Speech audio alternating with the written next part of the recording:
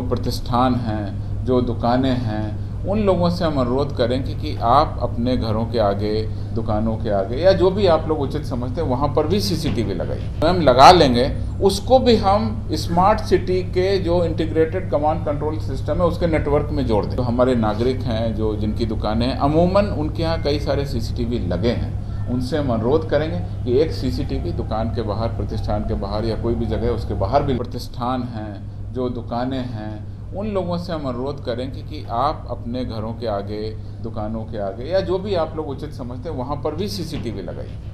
उसका क्या स्पेसिफिकेशन होगा, वो हम उनको बता देंगे। वो जब स्वयं लगा लेंगे, उसको भी हम स्मार्ट सिटी के जो इंटीग्रेटेड कमांड कंट्रोल सिस्टम है, उसके नेटवर्क में जोड़ देंगे। तो वो प्राइवेट सीसीटीवी का जो नेटवर्क बनेगा, वो भी बहुत अधिक संख्या में हम लोग अपने स्मार्ट कंट्रोल रूम का जो स्मार्ट सिटी का कंट्रोल सेंटर है, उससे हम जोड़ देंगे।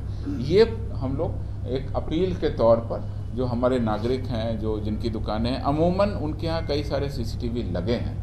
उनसे हम अनुरोध करेंगे कि एक सीसीटीवी दुकान के बाहर, प्रतिष्ठान के बाहर या कोई भी जगह उसके बाहर भी लगा दें, जिससे भी किसी भी तरह की गतिविधि हो रही है तो वो हमारी कैप्चर हो जाए। अपराध एक दृष्टिकोण होगा, महिलाओं की सुरक्षा दूसरा दृष्टिकोण होगा हमारा, और तीसरा दृष्टिकोण होगा किसी भी तरह की कोई खतरा या कोई विदेश विरोधी गतिविधि या कोई भी किस तरह की योजना बनती है तो उस पर हम लोग सीसीटीवी के नेटवर्क के तहत पूरी निगरानी रख सकें। तो ये आम जनता और पुलिसिंग को जोड़ करके हम लोग कार्रवाई करने वाले हैं। चौथी कार्रवाई जो हम लोग करेंगे, वो है ग्राउंड लेवल पर जो हमारी बीट पेट्रोलिंग है।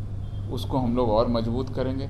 जो टीओपी है, उसमें जो हमारे पदाधिकारी और कर्मी डेपुटेड हैं, उनको वार्ड वाइज मोहल्ले वाइज गली वाइज हम लोग एरिया दे रहे हैं, वहाँ पर जाएँगे डोर टू डोर सर्वे करेंगे और वहाँ पर गश्ती भी करेंगे। गश्ती किस तरीके से होगी?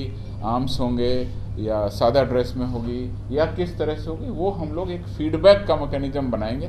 उसके तहत डोर टू डोर बेसिक जो हमारी पेट्रोलिंग है